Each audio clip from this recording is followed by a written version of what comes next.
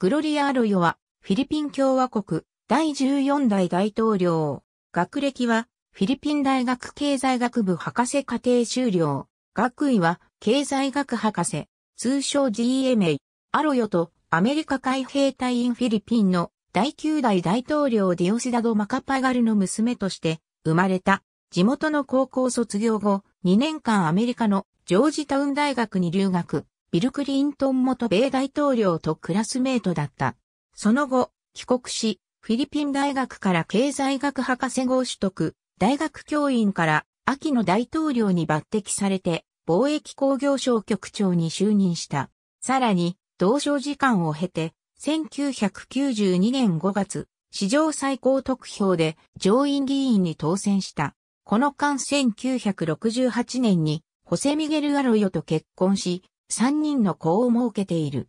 1998年でベネシア大統領候補の副大統領として立候補したが、フィリピンの大統領選挙は、正副大統領の選挙が別に行われるため、デベネシア候補は落選、アロヨは副大統領として当選した。同年6月、エストラダ大統領の副大統領に就任し、2001年1月20日、エストラーダ大統領に対する弾劾が成立すると、大統領に昇格した。これに対してエストラーダ派から、アロヨ大統領の正当性を疑問視する声が高まり、最高裁判所の判決が降りているにもかかわらず、でも、暴動や反乱が起こった。2001年11月、イスラム教徒ミンダナオ自治地域での選挙で、モロ民族解放戦線の議長ヌル、ミスアリと対立関係にあった同副議長パローク不信を支援した。アロヨ大統領は当初一期で退任の意向であったが、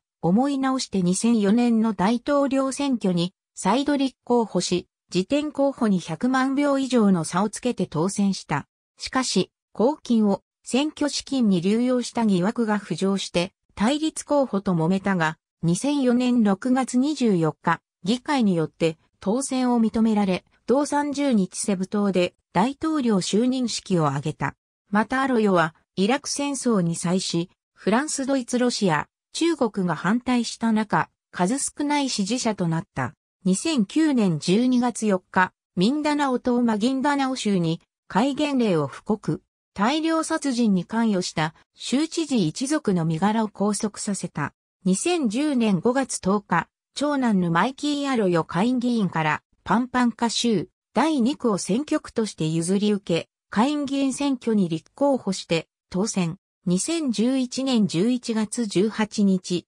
2007年の上院選に絡んだ選挙法違反容疑で逮捕。大統領経験者が逮捕されるのは、ジョセフ・エストラーダ以来、2012年10月4日、公金の不正流用の疑いで警察に再逮捕された。2012年10月12日、マニラ大駅軍人病院は入院しているアロヨが集中治療体制に置いたことを発表した。これにより15日の裁判所の出廷は難しい状況になった。ウィキニュースに関連記事があります。フィリピンアロヨ大統領弾劾成立の見込み薄し、ありがとうございます。